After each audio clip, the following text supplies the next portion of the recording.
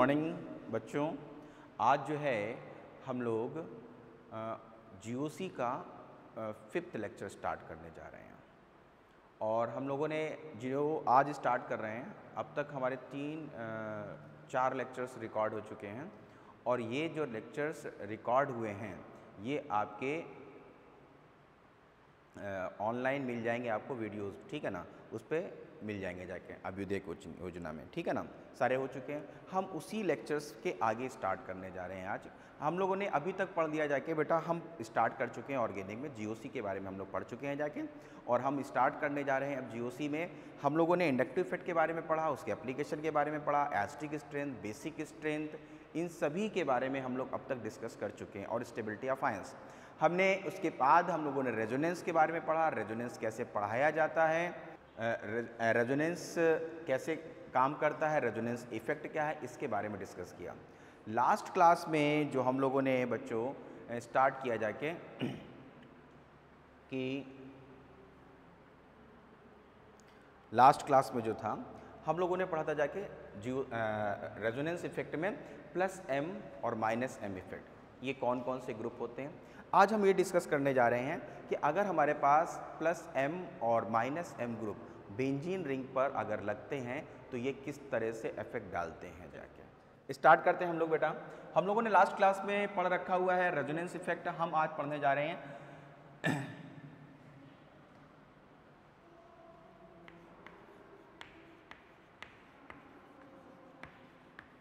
Resonance effect के बारे में। रेजोनेंस इफ़ेक्ट के बारे में क्या डिस्कस करने जा रहे हैं? ये टू टाइप्स का होता है बच्चों। ठीक है ना? कितने टाइप का होता है बेटा? टू टाइप्स का होता है।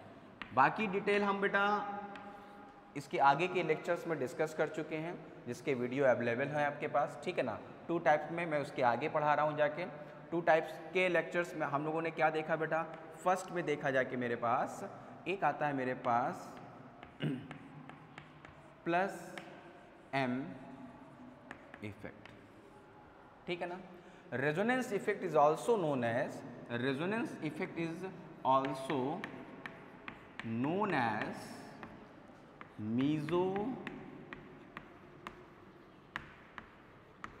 mesomeric effect इसको मीजोमेरिक इफ़ेक्ट भी कहा जाता है जाके, ठीक है ना? तो प्लस एम इफ़ेक्ट कहा जाए या प्लस आर इफ़ेक्ट कहा जाए, दोनों का मीनिंग एक हो गया बेटा, ठीक है ना? अब देखो क्या होता है। पहले प्लस एम इफ़ेक्ट का मैंने बात करी जाके तो प्लस एम इफ़ेक्ट क्या होते हैं? ये सभी बेटा इलेक्ट्रॉन डोनेटिंग ग्रुप होते हैं। जितने भी इलेक्ट्रॉन डोनेटिंग ग्रुप होंगे, वो सभी प्लस एम इफ़ेक्ट शो करेंगे। और इनमें अगर ऑर्डर देखा जाए तो सबसे अधिक अगर किसी का है तो वो है सी एच टू माइनस का। सी एच टू माइनस के बाद बेटा आता है प्लस एम में एन एच माइनस का। इसके बाद आता है बच्चों ओ माइनस का। इसके बाद आता है न्यूट्रल मॉलिक्यूल्स का आएगा N H two, then N R two, then O H, then O R. और लास्ट में बेटा हेलोजन के बारे में आएगा, ठीक? ये हो गया हमारे पास प्लस एम सिमिलरली अगर हम बात करें जाके सेकेंड में तो हम लोग लिखेंगे minus M effect. Minus M effect, ये क्या हो गया? इलेक्ट्रॉन विड्रॉइंग ग्रुप ठीक है ना? अब इलेक्ट्रॉन विड्रॉइंग पावर देखी जाए तो सबसे अधिक देखी गई है पी आर थ्री प्लस में बच्चों। इसके बाद आता है बेटा एन ओ टू का नंबर इसके बाद नंबर आता है बेटा सी एन का नंबर इसके बाद बच्चों नंबर आता है सी एच ओ का। इसके बाद नंबर आता है बच्चों सी ओ ओ एच का। एंड देन आता है बच्चों एस ओ थ्री एच का। ये किसका हो गया? इलेक्ट्रॉन विड्रॉइंग ग्रुप का ये ऑर्डर हो गया जाके। प्लस एम इफ़ेक्ट और माइनस एम इफ़ेक्ट यानी इसको हम लोग क्या कह सकते हैं?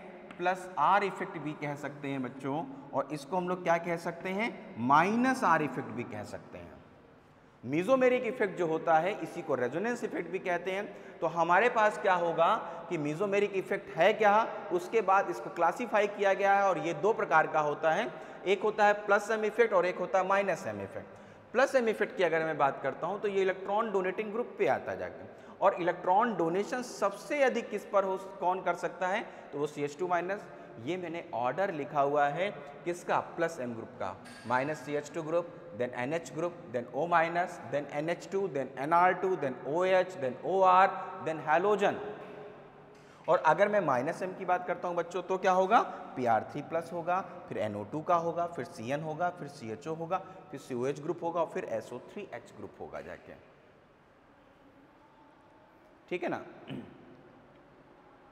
तो ये हुआ, अब मैं इन इन, इनमें से किसी एक ग्रुप का और इनमें से किसी एक ग्रुप का ऑर्डर बेंजीन रिंग में कैसे इफ़ेक्ट डालता है उसके बारे में डिस्कस करने जा रहे हैं। ध्यान समझते चलिएगा आप इसका स्क्रीनशॉट लीजिए बच्चों और फिर मैं आगे चलता हूँ।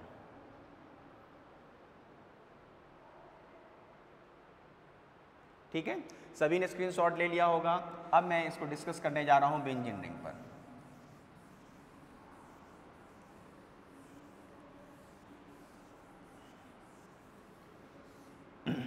देखो पहली बात, मैं बेंजीन के बारे में कुछ चीज़ें आपको बताता हूँ, ठीक है ना? फिर इस इफ़ेक्ट का एप्लीकेशन पार्ट समझ में आएगा। जितनी भी स्पीसीज़ हैं, जितनी भी स्पीसीज़ हैं, अगर उन स्पीसीज़ में स्पेशली कार्बन कार्बन में, अगर डबल बॉन्ड या ट्रिपल बॉन्ड पाया जाता है बच्चों तो ये डबल बॉन्ड या ट्रिपल बॉन्ड के बनने में एक सिग्मा और बाकी जो भी नंबर बढ़ रहे हैं बॉन्ड्स में, वो पाई बॉन्ड बन जाते हैं। पाई बॉन्ड जो होते हैं, वो कैसे बनते हैं? वो लेटरल ओवरलैपिंग से बनते हैं। लेटरल ओवरलैपिंग का मतलब क्या होता है? कि ये मेरा न्यूक्लियस रहा और न्यूक्लियस से जो लेटरल ओवरलैपिंग है, उसमें क्या होगा? जो इलेक्ट्रॉन डेंसिटी जहाँ ओवरलैपिंग हो रही है, वो न्यूक्लियस से दूर होते हैं जाके। इसलिए न्यूक्लियस का फोर्स ऑफ़ अट्रैक्शन इन पाई इलेक्ट्रॉनों पर कम हो जाता है। अगर पाई इलेक्ट्रॉनों पे न्यूक्लियस का फोर्स ऑफ़ अट्रैक्शन कम हो जाएगा तो ये क्या हो जाएँगे? आसानी से ब्रेक हो सकते हैं। और जो इलेक्ट्रॉन आसानी से ब्रेक हो जाते हैं लूजली बॉन्डेड इलेक्ट्रॉन्स होते हैं, उनकी वजह से उस सिस्टम में इलेक्ट्रॉन डेंसिटी बढ़ जाती है। हम सीधा कंक्लूजन पे पहुँचे तो कंक्लूजन पे क्या आता है कि अगर कहीं कार्बन कार्बन के बीच में एक भी पाई बॉन्ड पाया जाता है तो ऐसी स्पीसीज़ को हम लोग इलेक्ट्रॉन रिच स्पीसीज़ कंसीडर करते हैं। अगर कार्बन कार्बन के बीच में एक भी पाई बॉन्ड पाया जाता है तो ऐसी स्पीसीज़ को हम लोग इलेक्ट्रॉन रिच स्पीसीज़ कंसीडर करते हैं। और अगर ये इलेक्ट्रॉन रिच स्पीसीज़ हैं बेटा तो ये क्या हो जाएँगे जाके बिहेव करेंगे एज ए न्यूक्लियोफाइल क्या होंगी? ये न्यूक्लियोफाइल होंगी। यानी बेंजिन रिंग मेरी कैसी होगी? न्यूक्लियोफिलिक नेचर की हो गई तो अब इस पर अटैक कौन करेगा बच्चों? इस पर अटैक करेगा इलेक्ट्रोफाइल। न्यूक्लियोफाइल का, अगर ये न्यूक्लियोफाइल है तो अटैक करने कौन आएगा? कोई इलेक्ट्रोफाइल आएगा। इलेक्ट्रोफाइल्स, यानी इलेक्ट्रोफिलस दो वर्ड से मिलकर बना है। इलेक्ट्रॉन पर निगेटिव चार्ज, फिलस का मतलब अफेक्शन। जिनका अफेक्शन, जिनका अट्रैक्शन किसकी तरफ़ हो? इलेक्ट्रॉनों की तरफ़। तो उन पर क्या चार्ज होगा बच्चों? वो स्वयं पॉजिटिवली चार्ज होंगे, वो क्या होंगे? इलेक्ट्रॉन डेफिशिएंट स्पीसीज़ होंगी। तो जो इलेक्ट्रॉन डेफिशिएंट स्पीसीज़ होती हैं, जो पॉजिटिवली चार्ज स्पीसीज़ होती हैं, वो न्यूक्लियोफाइल पे अटैक करेंगे। क्यों अटैक करेंगे? क्योंकि न्यूक्लियोफाइल इलेक्ट्रॉन रिच स्पीसीज़ होते हैं। बेंजीन तुम्हारी न्यूक्लियोफिलिक नेचर्स की है तो क्या हो जाएगा? बेंजीन रिंग में अगर हम बात करते हैं बेटा in benzene ring 3 pi bonds are present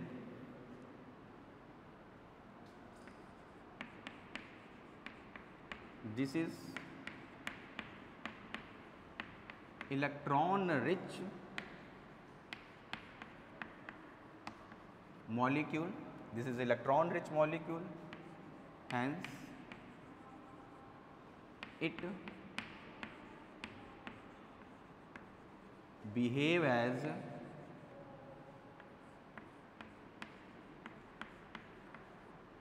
nucleophiles it behave as a nucleophiles ये न्यूक्लियोफाइल की तरह बिहेव करती है कौन? बेंजीन रिंग एक तो ये पॉइंट्स हुआ, ठीक है ना? ये फ़र्स्ट पॉइंट हुआ तो मैं जो मैंने बेंजीन रिंग के बारे में डिस्कस किया जाके। अब हम सेकेंड पॉइंट बताने जा रहे हैं और ये चीज़ें तुम लोग को पता होंगी, ऐसा नहीं है, लेकिन फिर भी अगर किसी स्टूडेंट्स को नहीं पता है तो मेरी ये ड्यूटी बनती है, मैं उसको ये चीज़ें बता के चलूँ, पहले से स्टार्टिंग करके चलूँ। बेंजिन रिंग है ये, और इस बेंजिन रिंग पर कोई ग्रुप लगा हुआ है। इस बेंजिन रिंग पे कोई ग्रुप लगा हुआ है तो मैं क्या करता हूँ, इस ग्रुप को फ़र्स्ट पोजीशन दे देता हूँ, इसको सेकंड दे देता हूँ, इसको थर्ड दे देता हूँ, इसको फोर्थ इसको फिफ्थ और इसको सिक्स दे देता हूँ, ठीक?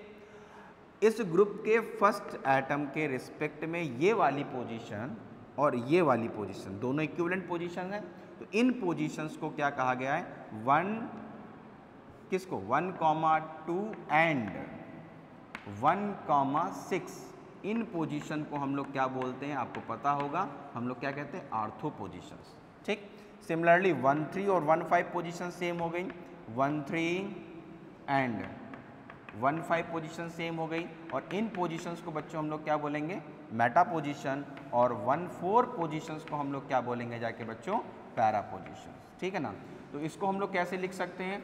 ओ आर्थो इसको क्या लिखेंगे? एम मेटा इसके लिए क्या लिखेंगे? पी पैरा पोजिशन ये हमें नोटिफिकेशन पता होना चाहिए। एक तो क्या हुआ, पहला पॉइंट क्या हुआ कि बेंजीन रिंग जो होती है, उसमें तीन पाई बॉन्ड पाए जाते हैं, जिसकी वजह से ये न्यूक्लोफिलिक नेचर की होती है, इस पर इलेक्ट्रोफाइल अटैक करेगा जाके। दूसरा पॉइंट क्या हुआ कि अगर बेंजीन रिंग में पहले से कोई ग्रुप प्रेजेंट है और सेकेंड ग्रुप आ रहा है सेकेंड ग्रुप आ रहा है तो वो किन एटम पर लगेगा कार रिंग के? तो ये सेकेंड कार्बन पे लग सकता है थर्ड पे लग सकता है फोर्थ पे लग सकता है फिफ्थ पे लग सकता है सिक्स पे लग सकता है।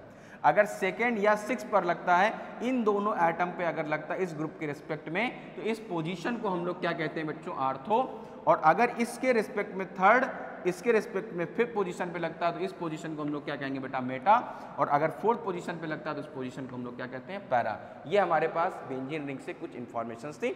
आप इसका एक स्क्रीन लीजिए, फिर हम लोग आगे बढ़ते हैं।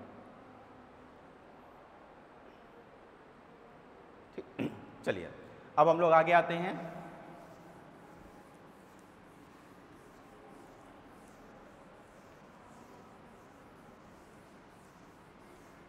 अब देखो। पहला केस लेके चलते बेटा। जब हमारी बेंजीन रिंग पर प्लस एम या जिसे आप लोग प्लस आर ग्रुप लगा हुआ है तो बेंजीन रिंग पर इन ग्रुप के लग जाने से क्या चेंज आता है, उसको मैं कह, देखने जा रहा हूँ। ये रहा मेरे पास बेंजीन रिंग। मैं कोई ऐसा ग्रुप लगाऊँगा जो कि कैसा नेचर में हो, प्लस एम। मैंने क्या लगा दिया बच्चों? एन एच टू ग्रुप लगा दिया और नाइट्रोजन पे क्या है? लोन पेयर ऑफ़ इलेक्ट्रॉन ये मेरे पास एक स्ट्रक्चर हो गया बेंजीन रिंग और उस पर एन एच टू ग्रुप लगा। क्योंकि नाइट्रोजन पे लोन पेयर ऑफ़ इलेक्ट्रॉन है इलेक्ट्रॉन रिच स्पीसीज है it behave as a plus M group ये किस तरह से बच्चों बिहेव करेगी? प्लस एम मैं प्लस एम लिखूँ या प्लस आर लिखूँ? एक ही चीज़ है, मैं बार बार अब दोनों चीज़ें नहीं लिखूँगा, मैंने एक बार लिख दिया। प्लस एम ग्रुप की मैं बात कर रहा हूँ, ठीक है ना?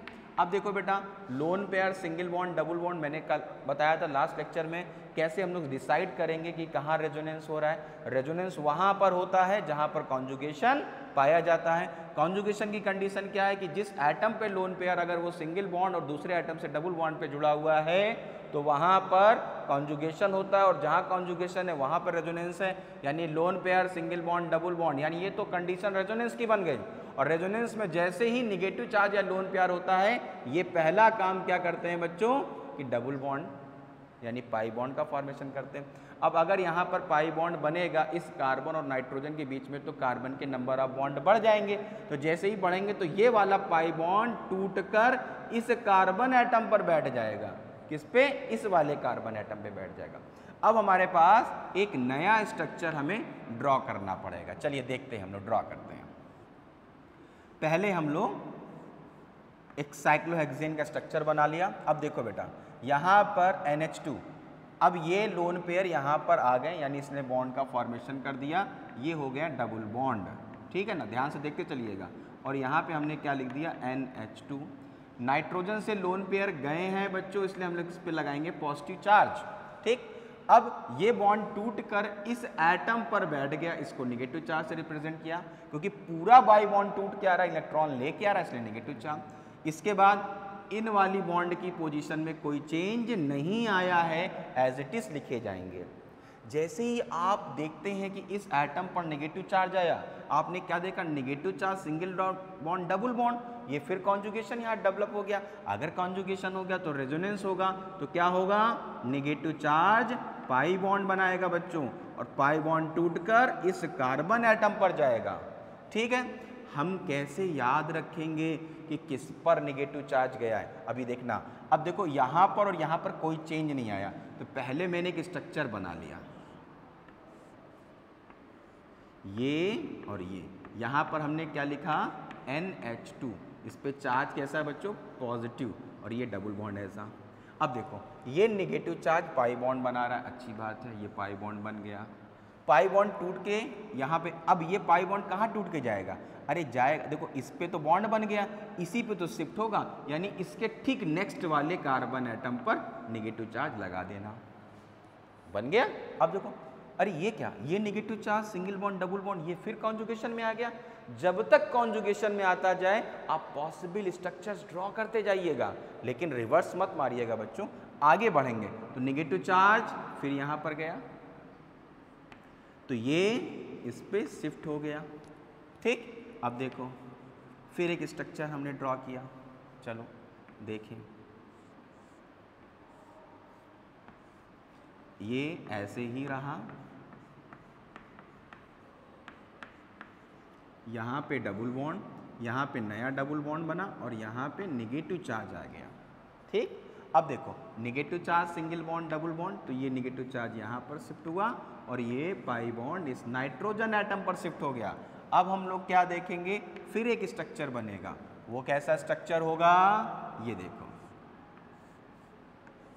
यहाँ पर इसको हमने, क्योंकि जैसे ही निगेटिव चार्ज गया पॉजिटिव चार्ज वाला चार्ज खत्म और उसके लोन पेयर उसको वापस मिल गए। यहाँ पर बॉन्ड बन गया, यहाँ पर बॉन्ड बन गया, यहाँ पर बॉन्ड बन चुका है। अब आपने जितने भी स्ट्रक्चर्स बनाए, इन सभी को हम लोग क्या कहते हैं?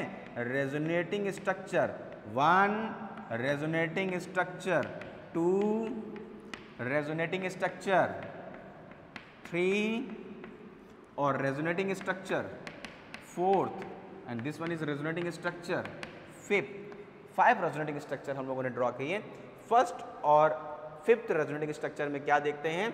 डबल बॉन्ड की पोजीशन चेंज हो चुकी है। कैसे चेंज हुई? केवल डीलोकलाइजेशन हुआ। किन का? लोन पेयर का और पाई बॉन्ड का। अच्छा भैया रेजोनेटिंग स्ट्रक्चर्स ड्रॉ कर लिए तो क्या हम अब रेजोनेंस हाइब्रिड नहीं बनाएँगे? बिल्कुल बनाएँगे बच्चों। अब हमने क्या किया? साइक्लोहेक्सिन जो बॉन्ड अपनी पोजीशन चेंज नहीं किए हैं, उनको ऐसा ही लिख दो। अब क्या हुआ? देखो, ये सिंगल बॉन्ड डबल बॉन्ड में कन्वर्ट हुआ, हर डबल बॉन्ड सिंगल में, हर सिंगल डबल में गया। यानी मेरे पास क्या आया कि हर बॉन्ड कैसा है? पार्शियल डबल बॉन्ड करेक्टर रख रहा है।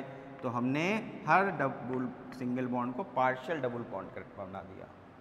नाइट्रोजन पे बेटा क्या आया है चार्ज पॉजिटिव डेल लिखेंगे। इस एटम पर डेल नेगेटिव इस वाले कार्बन एटम पे डेल नेगेटिव और इस वाले कार्बन एटम पे डेल नेगेटिव क्या कंक्लूजन निकला?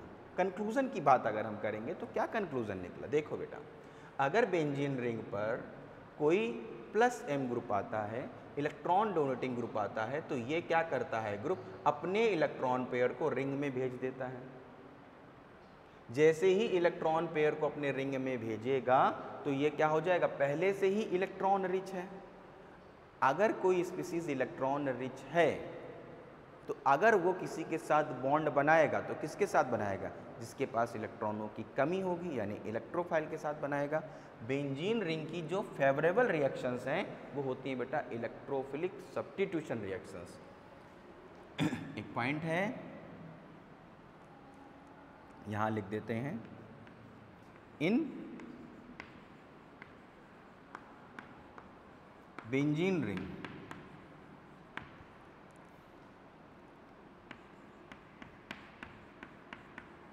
electrophilic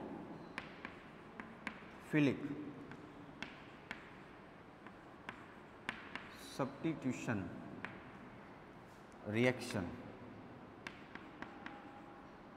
E S R takes place benzene ring पे कौन सी रिएक्शन होती है बेटा आसानी से? इलेक्ट्रोफिलिक सब्टिट्यूशन रिएक्शन होती है। यानी कि इनमें इलेक्ट्रोफाइल अटैक करता है। बेंजीन रिंग पे कौन अटैक करेगा बच्चों? इलेक्ट्रोफाइल अटैक करेगा जाके। ठीक है? अब देखो। बेंजीन रिंग पर इलेक्ट्रोफाइल अटैक करना है। इलेक्ट्रोफाइल क्यों अटैक कर रहा है? क्योंकि बेंजीन रिंग पर इलेक्ट्रॉन डेंसिटी अधिक है। लेकिन हमने क्या देखा कि अगर पहले से ही बेंजीन रिंग पर कोई प्लस एम ग्रुप लग गया तो इसके आने से इलेक्ट्रॉन डेंसिटी अधिक थी।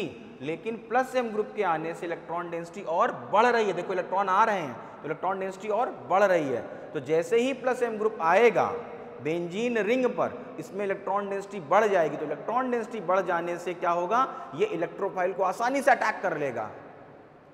इलेक्ट्रोफाइल को आसानी से अट्रैक्ट कर लेगा। जब आसानी से अट्रैक्ट कर लेगा, रेट ऑफ़ रिएक्शन बढ़ जाएगी। यानी कि प्लस एम ग्रुप के आने से बेंजीन रिंग पर रिंग की रिएक्टिविटी बढ़ जाती है। ऐसे ग्रुप को हम लोग रिंग एक्टिवेटिंग ग्रुप कहते हैं।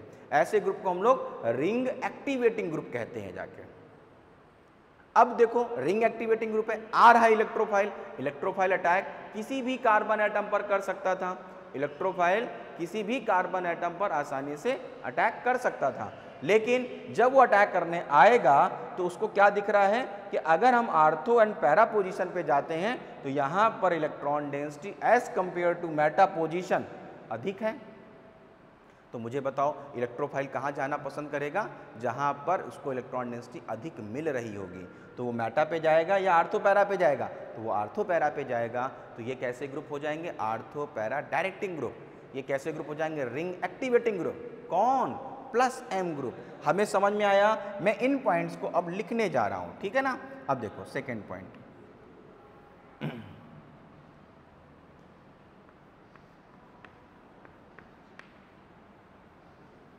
in presence of plus m group electron density increases at ortho and देखो ortho and para position.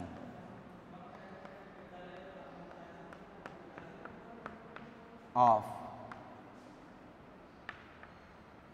benzene ring. Hence, electrophile attacks at ortho and para position इसलिए इलेक्ट्रोफाइल कहाँ attack करेगा? Ortho and para position पे, इसलिए। So these group are known as ortho and para directing group in group को हम लोग क्या कहेंगे? आर्थो पैरा डायरेक्टिंग ग्रुप और क्या कहेंगे? रिंग एक्टिवेटिंग ग्रुप इन ग्रुप को क्या कहेंगे बच्चों? ऊपर लिख दे रहा हूँ मैं और इनको क्या कहूँगा हम? Ortho and para directing group क्यों कहेंगे? वो मैंने आपको बताया। और क्या कहेंगे इसको? Ring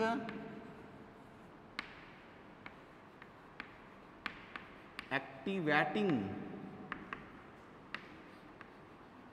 group ring activating group ortho para directing group and ring activating group कहते हैं जाके। ठीक है? मेरी बात समझ में आई तुम लोग को?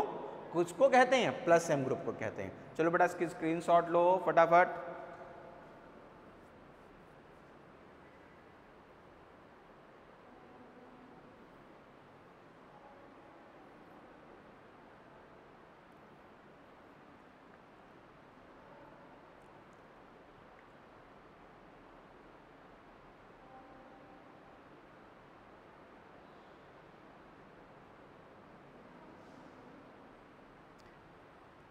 ठीक है बेटा, ले लिया, चलिए। अब हम सेकेंड ग्रुप के बारे में लिखने जा रहे हैं बच्चों, और वो होगा हमारे पास। ध्यान दीजिएगा, मैं इसी में चेंज कर दे रहा हूँ। सेकेंड माइनस एम और माइनस आर इफ़ेक्ट तो ऐसा कोई ग्रुप लिया जाए जिस पे ये चीज़ें आती हो जाके, ठीक है? देखो, मैंने क्या लिख लिया? C H double bond O ठीक, ये देखो। ठीक है, ये हो गया हमारे पास। चल। Double bond single bond double bond resonance है कॉन्जुगेशन है रेजोनेंस होगी जाके। होगा क्या? ये कार्बन कार्बन पाई बॉन्ड है, ये कार्बन ऑक्सीजन पाई बॉन्ड है। ऑक्सीजन की इलेक्ट्रोनिगेटिविटी अधिक तो पाई बॉन्ड ऑक्सीजन एटम पर शिफ्ट होने लगेगा। जैसे ही ये पाई इलेक्ट्रॉन ऑक्सीजन एटम पे शिफ्ट होगा, इस पर पॉजिटिव चार्ज आएगा, ये पॉजिटिव चार्ज इन पाई बॉन्ड्स को अपनी तरफ़ बाहर की ओर खींचने लगेंगे। अब ध्यान दो बेटा, वहाँ NH2 ग्रुप में लगने से नाइट्रोजन के लोन पे रिंग में आ रहे थे, आ रहे थे। अब डायरेक्शन अपोजिट हो रही, जा रहे हैं। तो अगर हमारे पास CHO ग्रुप लग जाएगा, अगर मेरे पास CHO ग्रुप लग जाएगा, जो कि नेचर में कैसा माइनस एम है तो अगर माइनस एम ग्रुप लगेगा तो इलेक्ट्रॉन डेंसिटी बढ़ा रहा है रिंग में या घटा रहा है? ये तो डिक्रीज करेगा, बाहर ले जाएगा डिक्रीज कर जाएगा। और देखते हैं। जैसे ही इलेक्ट्रॉन डेंसिटी बाहर की ओर गया, ये पाई बॉन्ड यहाँ पर क्या हो गया बच्चों? डबल बॉन्ड डेवलप हो गया। और ये डबल बॉन्ड कैसा हो गया? C H single bond O O पे माइनस चार्ज और इस पे चार्ज कैसा आ गया बेटा? पॉजिटिव चार्ज आ गया। भाई यहाँ से पाई बॉन्ड टूटा तो इस पर पॉजिटिव चार्ज आ गया। अब अगर पॉजिटिव चार्ज आ गया बच्चों तो क्या होगा? अब ये पॉजिटिव चार्ज इस पाई बॉन्ड को अपनी ओर खींचेगा। तो जब इसकी तरफ़ जाएगा तो ये बॉन्ड कैसा हो जाएगा? डबल और ये वाला क्या हो जाएगा? फिर से पॉजिटिव चार्ज हो जाएगा। ऊपर वाला ग्रुप सेम ही रहेगा। C H single bond O O पे माइनस चार्ज मेरी बात समझ रहे हो? पॉजिटिव चार्ज है बेटा। पॉजिटिव चार्ज क्या करेंगे? इलेक्ट्रॉन भेजेंगे या अपनी तरफ़ ले जाएँगे? ये तो पाई इलेक्ट्रॉनों को अपनी ओर लाते हैं, अपनी ओर खींचेंगे जाके। तो पाई इलेक्ट्रॉन इस ओर खींचेंगे तो यहाँ पे डबल बॉन्ड डेवलप होगा। इस वाले एटम पर अब क्या आएगा? पॉजिटिव चार्ज आएगा। इस वाले पे क्या आएगा? पॉजिटिव चार्ज आएगा। अब देखो बेटा, ऊपर वाले ग्रुप में क्या हुआ?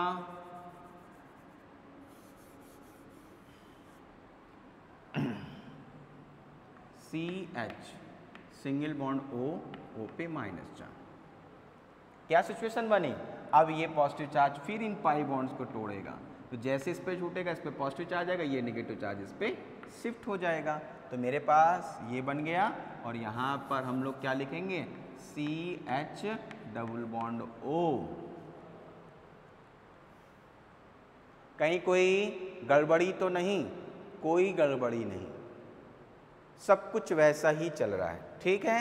अब इसको क्या लिखोगे बच्चों? C H single bond O बिल्कुल सही लिखा? अब देखो, यहाँ पे क्या हो जाएगा बच्चों? इस पे आ गया निगेटिव चार्ज ये बॉन्ड कैसा हो गया? पार्शियल डबल बाकी सभी पार्शियल डबल रहेंगे। अब देखो, यहाँ पर पॉजिटिव चार्ज आया, यहाँ पे पॉजिटिव चार्ज आया, यहाँ पे पॉजिटिव चार्ज आया। पहली बात हम लोगों ने क्या नोटिस की? कि जैसे ही बेंजीन रिंग पर माइनस एम ग्रुप लगाएँगे, ये बेंजीन रिंग से इलेक्ट्रॉनों को विड्रॉ करने लग जाएगा। अगर ये इलेक्ट्रॉनों को विड्रॉ करने लग जाएगा तो क्या होगा? अगर ये इलेक्ट्रॉनों को विड्रॉ करने लग जाएगा तो क्या होगा? इलेक्ट्रॉन बाहर की ओर जाएँगे तो इलेक्ट्रॉन डेंसिटी क्या होने लगेगी बच्चों? कम होने लगेगी। यानी in presence of minus M group, electron density decreases. At कहाँ पर? आर्थो पैरा पोजिशन पे। क्या कर रहा है? डिक्रीज कर रहा है बेंजिन रिंग की। इसलिए इलेक्ट्रोफाइल अब इलेक्ट्रोफाइल कहाँ पर आएगा? अगर आर्थो पैरा पोजिशंस पे इलेक्ट्रॉन डेंसिटी कम हो जाएगी जिस पे इलेक्ट्रॉन कम है इलेक्ट्रोफाइल है, क्या वहाँ पे अटैक करेगा? नहीं। कहाँ पर अटैक करेगा? मेटा पोजिशन पे करेगा। As compare to meta position ठीक है। मेटा पोजिशन पे इलेक्ट्रॉन डेंसिटी बढ़ी क्या? नहीं बढ़ी। कोई बात नहीं। तो अब अगर यहाँ पर कम हो रही है, यहाँ पे नहीं बढ़ रही है, इसका मतलब यहाँ पे हम अधिक मान सकते कि नहीं मान सकते? क्योंकि मैटा से कम हुई, इसलिए इनकमिंग इलेक्ट्रोफाइल वहाँ पर जाएगा जहाँ पर उसको पहले से अधिक इलेक्ट्रॉन डेंसिटी दिखेगी, जहाँ पर इलेक्ट्रॉन डेंसिटी अधिक होगी। तो आर्थो और पैरा पे अब इलेक्ट्रॉन डेंसिटी बच्चों कम हो चुकी है, इसलिए incoming electrophile hence incoming electrophile attack at meta position. किस पे आएगा? Meta position so these group are known as meta directing group तो क्या हुए? इन ग्रुप को क्या कहोगे बच्चों?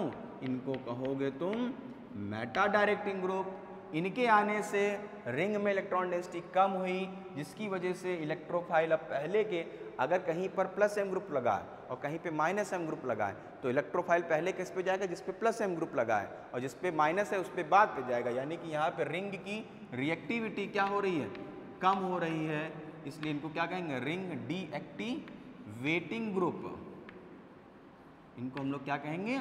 रिंग डीएक्टिवेटिंग ग्रुप कहेंगे। किन को माइनस एम ग्रुप को। मेरी बात समझ में आ रही है? सारी चीज़ें मैंने हर जगह चेंज कर दी। कहीं कोई चीज़ रह तो नहीं गई। ठीक है। अब बेटा आप इसका स्क्रीनशॉट ले सकते हैं आसानी से।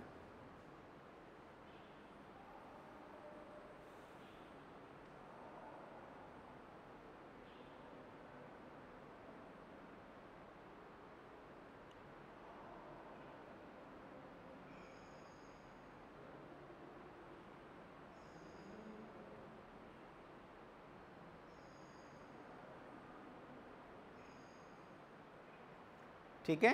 चलो। अब समझ में आ गया। अगर बेंजीन रिंग पर प्लस एम ग्रुप, अब मैं इन सबको हटा दे रहा हूँ बेटा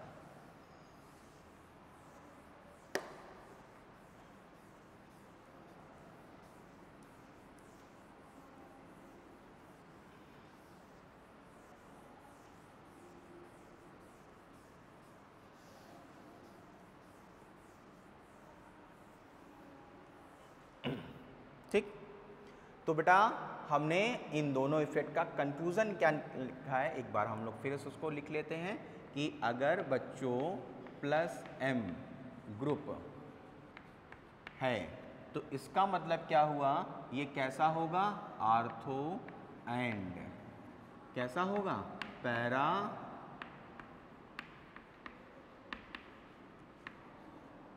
डायरेक्टिंग ग्रुप होगा। ठीक? और क्या होगा?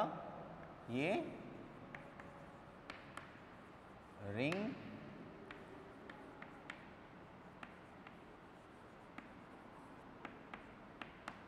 एक्टिवेटिंग ग्रुप होगा। ठीक?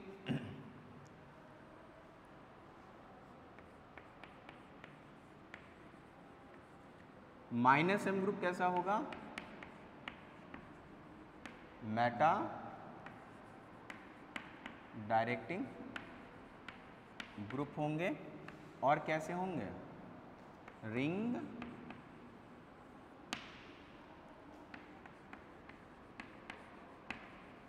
डीएक्टिवेटिंग ग्रुप होंगे। क्या होंगे? रिंग, डीएक्टिवेटिंग ग्रुप होंगे। और देखो points, next.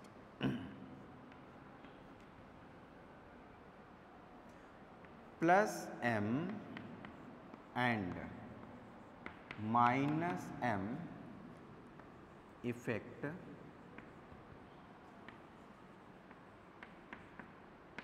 do not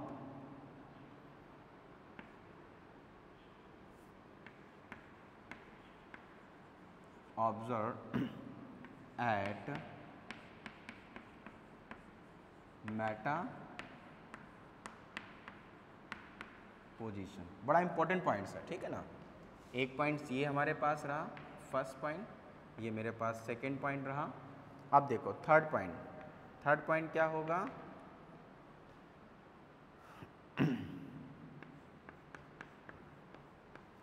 Mesomeric effect does not depends on distance यानी इंडिपेंडेंट ऑफ़ डिस्टेंस होता है। कोई ग्रुप कितनी दूर जा रहा है, उससे कोई यहाँ पर अंतर नहीं पड़ता है। कॉन्जुगेशन होना चाहिए जाके। पहली बात मेटा पोजिशंस पर कोई असर नहीं डालता और डिस्टेंस के क्या होता है?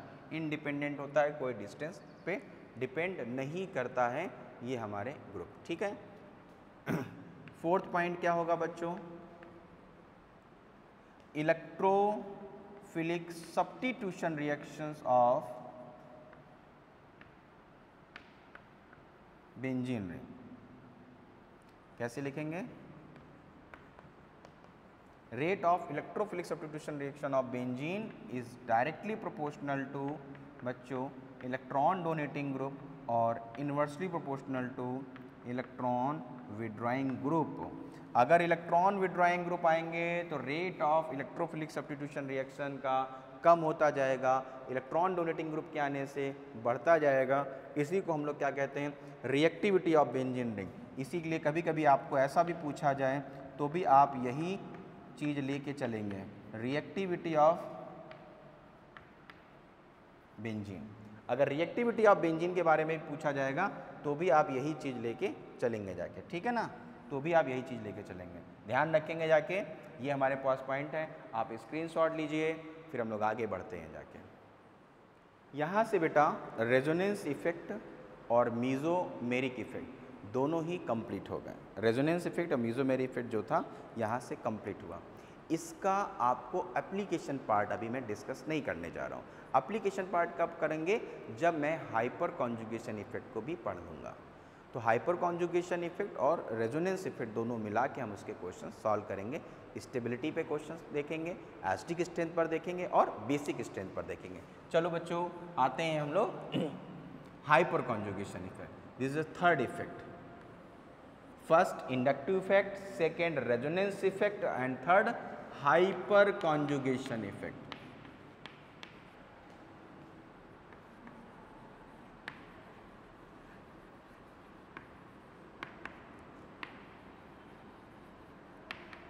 hyper conjugation effect.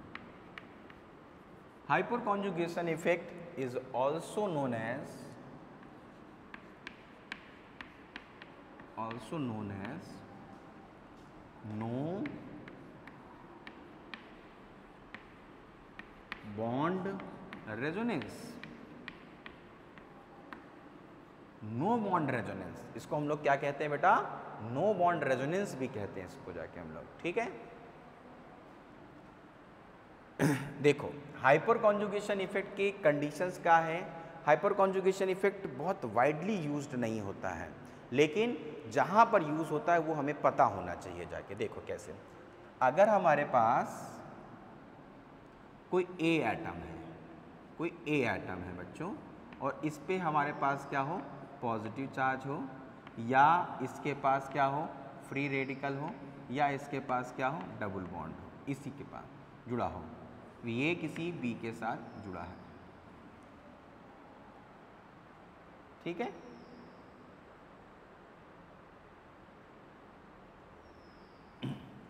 और यहाँ पे क्या है? कोई कार्बन एटम है। ऐसे नहीं लिखो। देखो, मैं कार्बन की फॉर्म में लिखता हूँ जैसे मेरे पास क्या है? सी एच इस पर क्या लिखा है? तीन केसेस हैं, मैं उनमें बता देता हूँ सीधा, देखो क्या लिखेंगे। अगर हमारे पास C H two positive charge है, इस पर ठीक है ना? Are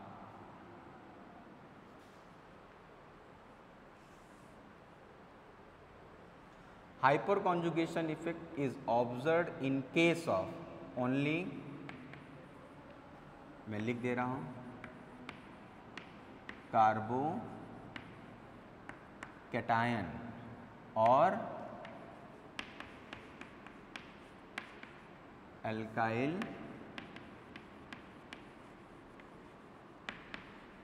फ्री रेडिकल और एल्कीन हाइपर कॉन्जुगेशन इफ़ेक्ट कहाँ पे देखा जाएगा? कार्बोकेटाइन में देखा जाएगा। एल्काइल फ्री रेडिकल्स पे देखा जाएगा और एल्कीन पे देखा जाएगा जाते हैं इन तीन पे देखा जाएगा। कोई कार्बन है? इस कार्बन पे पॉजिटिव चार्ज हो सकता है। हो सकता है इस पर फ्री रेडिकल बना हो। हो सकता है इसके पास डबल बॉन्ड भी हो। इस कार्बन से। इसके ठीक बगल में एक और कार्बन है, इसके ठीक बगल में एक और कार्बन है। इसके ठीक बगल वाले कार्बन को हम लोग क्या कहेंगे? Alpha carbon. इसको बेटा हम लोग क्या कहेंगे? Alpha carbon atom. इसको क्या कहेंगे हम? Alpha carbon atom. इस अल्फ़ा कार्बन एटम से क्या लगा होगा? Hydrogen atom. तो अगर अल्फ़ा कार्बन पे हाइड्रोजन लगा है तो इसको हम लोग क्या कहेंगे? Alpha hydrogen atom. क्या कहते हैं? For hyper conjugation. क्या कहते हैं? For hyper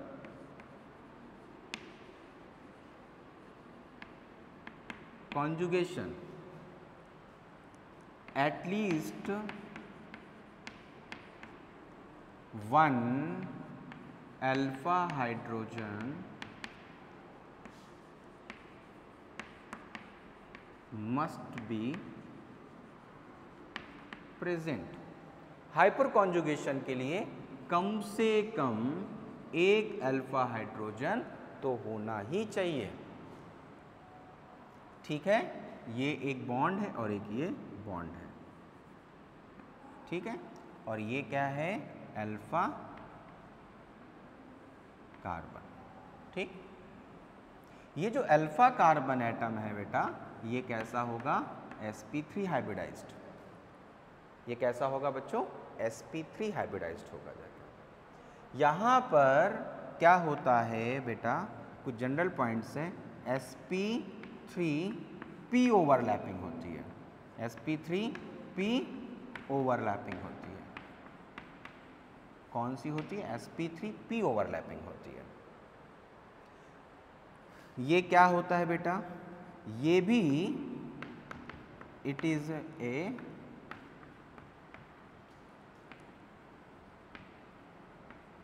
permanent effect ये भी कैसा है कि परमानेंट इफ़ेक्ट होता है। ठीक है? It does not depend on distance ये डिस्टेंस पे डिपेंड भी नहीं करता है। ये डिस्टेंस पर डिपेंड भी नहीं करता है। ये परमानेंट इफ़ेक्ट है या sp3p ओवरलैपिंग होती है जाके। ठीक है ना? ये इसके एक मेन पॉइंट्स हैं। ठीक है ना? तो ये क्या हो गया बेटा इसके मेन पॉइंट्स आप इसका स्क्रीनशॉट लीजिए। फिर हम लोग इसमें आगे आते हैं।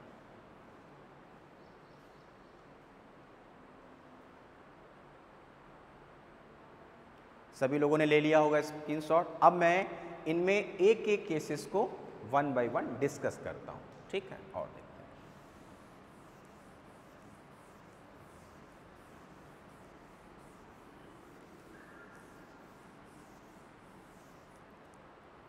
देखो first case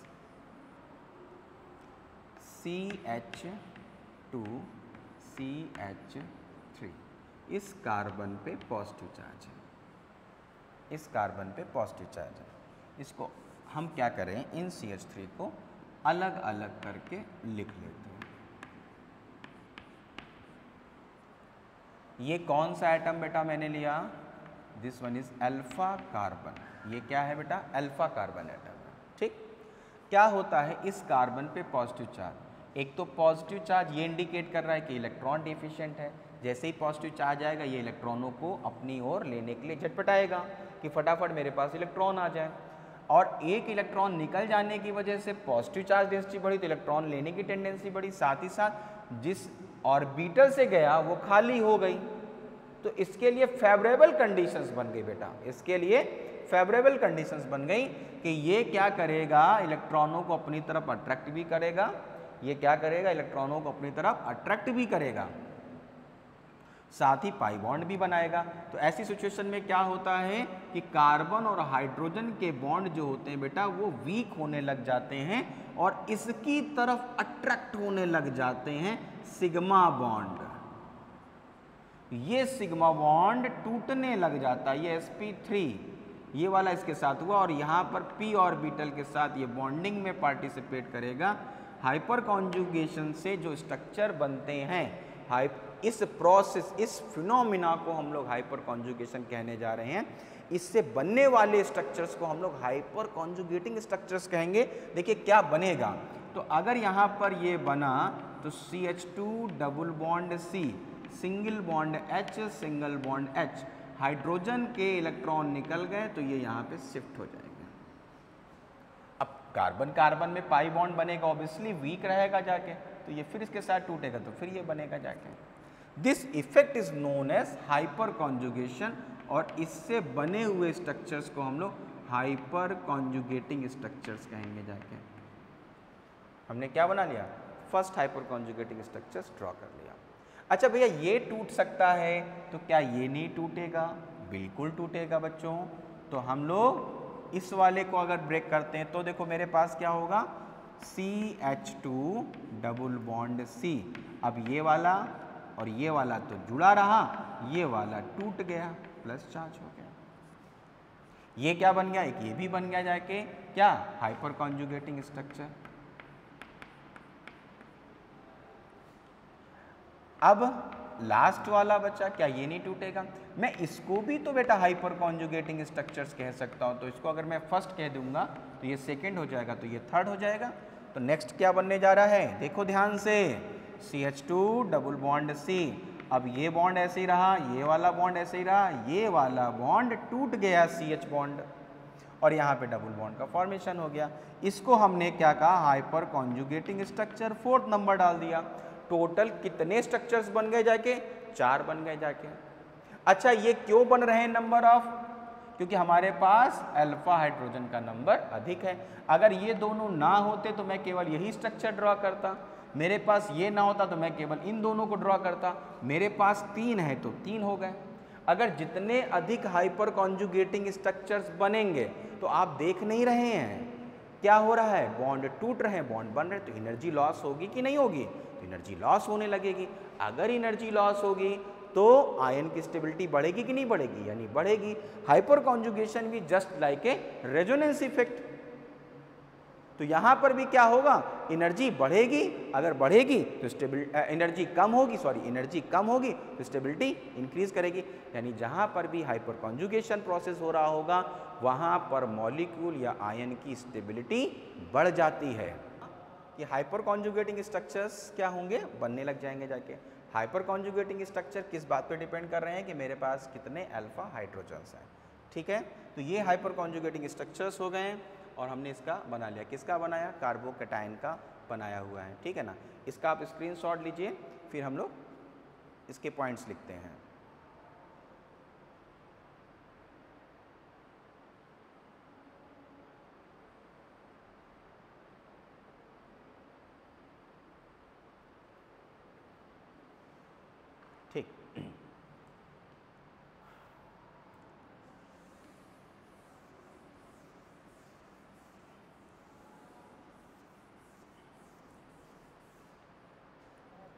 तो मेरे पास पॉइंट्स क्या आया बच्चों? As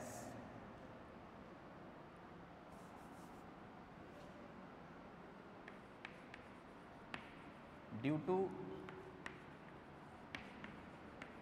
hyper conjugation.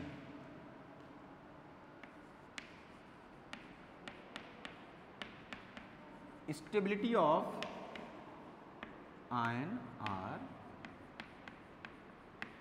molecules increases. Second point as number of alpha hydrogen increases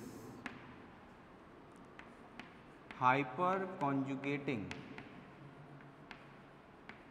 structures increases hence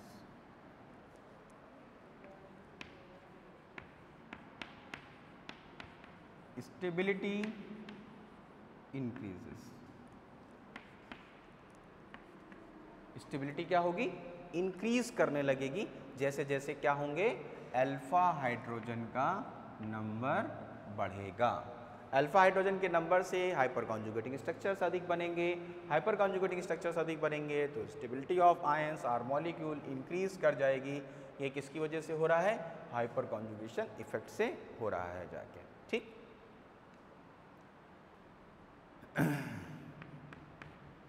अब, अभी आपने देखा हाइपर कॉन्जुगेटिंग इफ़ेक्ट होता है तो सी और एच का बॉन्ड टूटने लग जाता है। तो यानी यहाँ पर क्या होता है? सिग्मा बॉन्ड ब्रेक होता है। ठीक है ना? सिग्मा बॉन्ड ब्रेक होता है। इसलिए यहाँ पर क्या कहलाता है? सिग्मा पाई डी लोकलाइजेशन यहाँ पे क्या होता है? Sigma and pi electrons delocalisation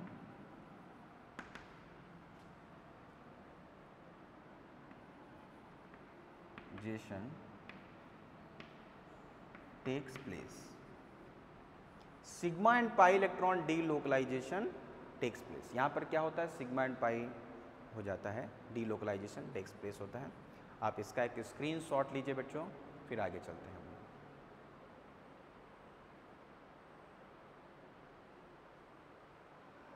ठीक। अभी हम लोगों ने कार्बोकटाइन में हाइपर कॉन्जुगेटिंग स्ट्रक्चर्स बनाना देखा। अब हम लोग फ्री रेडिकल में हाइपर कॉन्जुगेटिंग स्ट्रक्चर्स ड्रॉ करना सीखते हैं। ठीक? देखो। मेरे पास क्या है बच्चों? सी एच टू सी यहाँ पे डॉट बना हुआ है। ठीक? अब देखो, इस कार्बन के पास एक इलेक्ट्रॉन है तो अब इसको बॉन्ड बनाने के लिए तो केवल एक ही इलेक्ट्रॉन चाहिए ना? तो क्या होगा? ये इलेक्ट्रॉन इस पर आ जाएगा, ये इलेक्ट्रॉन इधर आ जाएगा जाकर तो अगर एक एक इलेक्ट्रॉन आ गया तो मेरे पास क्या होगा? पाई बॉन्ड का फॉर्मेशन हो जाएगा। तो क्या हुआ? C H two double bond C single bond H single bond H और यहाँ पे एच डॉट बन जाएगा जाकर यहाँ पे क्या हो जाएगा? एच डॉट क्योंकि एक ही इलेक्ट्रॉन तो गया तो हाइड्रोजन अपना इलेक्ट्रॉन लेके चला गया तो हम लोग एच डॉट लिख देते हैं उसको। ठीक है ना? सिमिलरली क्या होगा? ये वाले के साथ भी यही सिचुएशन होगी बच्चों। इस वाले के साथ भी यही सिचुएशन होगी जाके। यानी ये वाला भी अपना इलेक्ट्रॉन दे सकता है, ये वाला भी अपना एक इलेक्ट्रॉन दे सकता है। अगर मैं इन सब की बात करता हूँ तो मेरे पास क्या होगा? C H two double bond C single bond H single bond H sorry ये वाला लिखा है तो ये वाले टूटेगा तो यहाँ पे डॉट बनेगा। ठीक? ऐसा ही यहाँ पर देखेंगे। क्या देखेंगे यहाँ पे? C H two double bond C single bond H single bond H और यहाँ पे डॉट बन गया। ये सभी क्या हैं? ये हाइपर कॉन्जुगेटिंग स्ट्रक्चर्स हैं। These are hyper conjugating structure first hyper conjugating structure second hyper conjugating structure third and hyper conjugating structures are fourth तो ये हमने किसमें बना लिया? ये फ्री रेडिकल में। किसमें बेटा बनाया? Alkyl free radicals alkyl free radicals में कैसे हाइपर कॉन्जुगेटिंग स्ट्रक्चर्स ड्रॉ किए जाते हैं, उसके बारे में मैंने तुम्हें यहाँ पर बताया। आप इसका स्क्रीनशॉट लीजिए बच्चों, फिर आगे चलते हैं।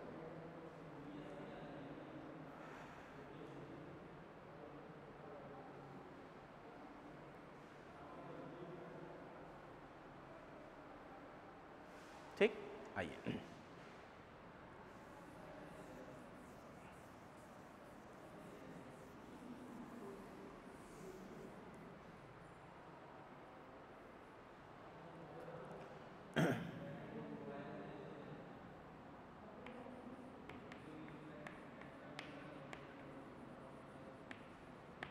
एप्लीकेशन एप्लीकेशन किसमें देखने जा रहे हैं बच्चों?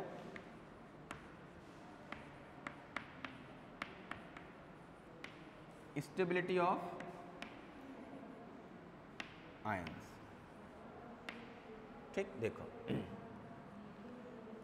First example C H three plus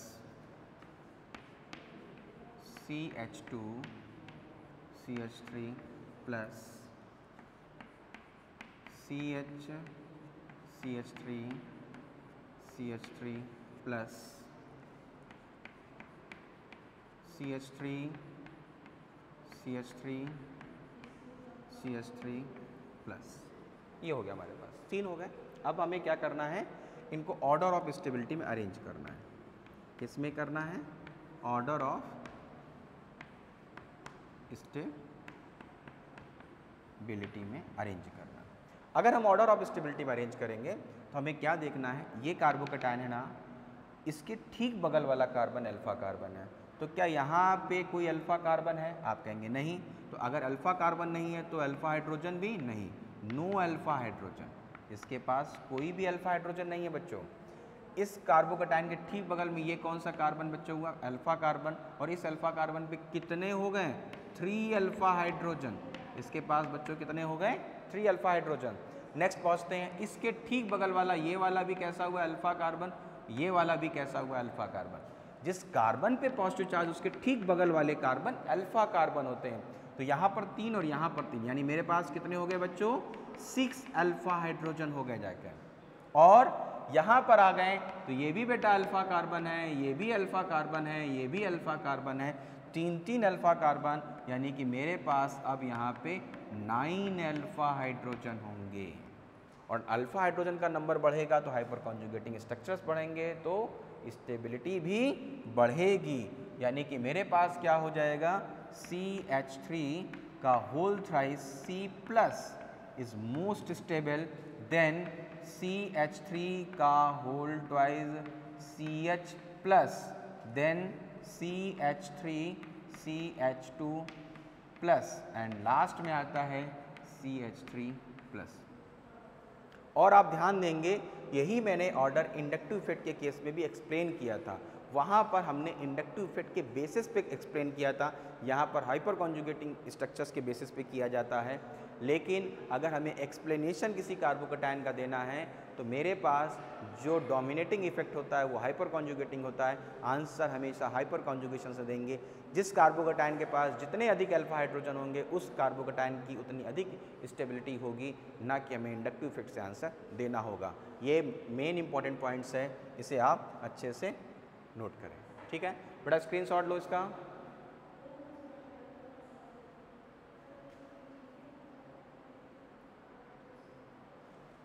ले लिया चलिए आगे आते हैं। सेकेंड एग्ज़ाम्पल इसी में कर देते हैं। अब मैंने क्या कर दिया? यहाँ पे फ्री रेडिकल्स बना लिए हैं। यहाँ पे मैं क्या बनाने जा रहा हूँ? फ्री रेडिकल्स बनाने जा रहा हूँ।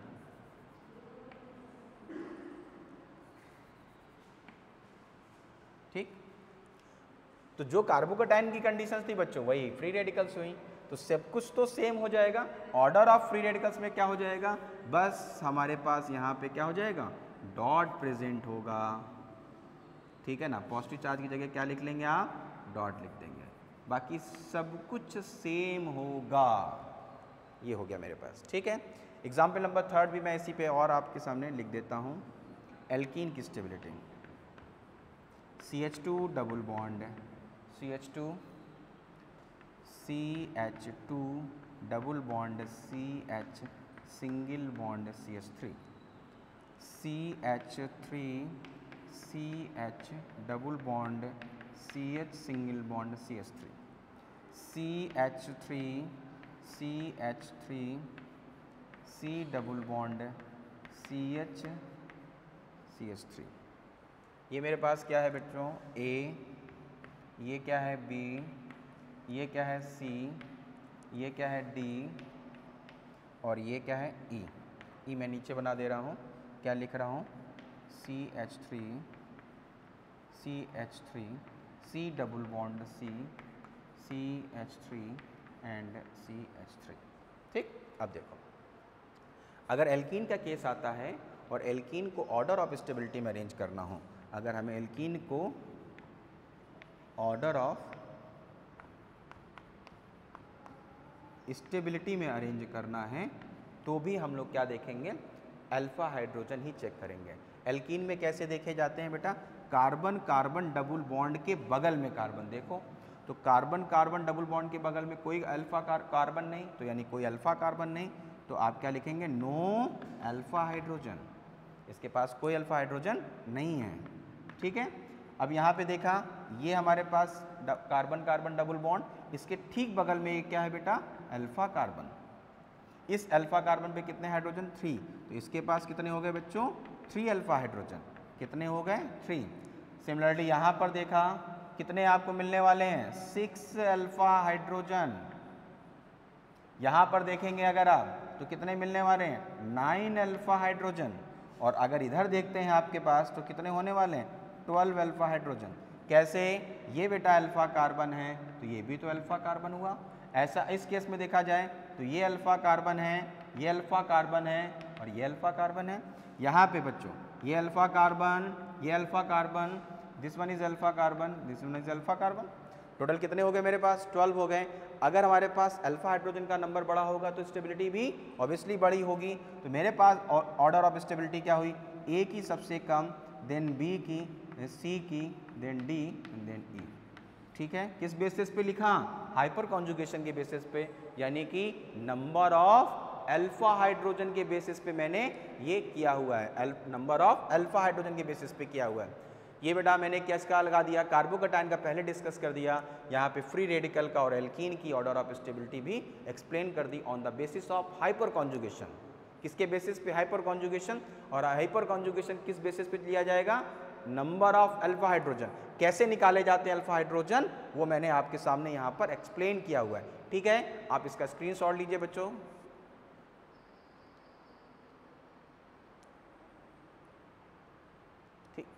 तो हाइपर कॉन्जुगेशन से जो जुड़े हुए पॉइंट्स थे, वो मैंने आपको अभी यहाँ पर एक्सप्लेन कर दिया जाके। तो मेरा रेजोनेंस इफ़ेक्ट कंप्लीट हो गया बच्चों। हाइपर कॉन्जुगेशन इफ़ेक्ट भी कंप्लीट हो चुका। इंडक्टिव इफ़ेक्ट हम लोग ऑलरेडी कंप्लीट कर चुके हैं। अब इन तीनों इफ़ेक्ट का हम लोग मिसलेनियस एग्जाम्पल्स करेंगे, जहाँ पर किस तरह से हमें क्वेश्चंस को सॉल्व करना होगा जाके। ठीक है?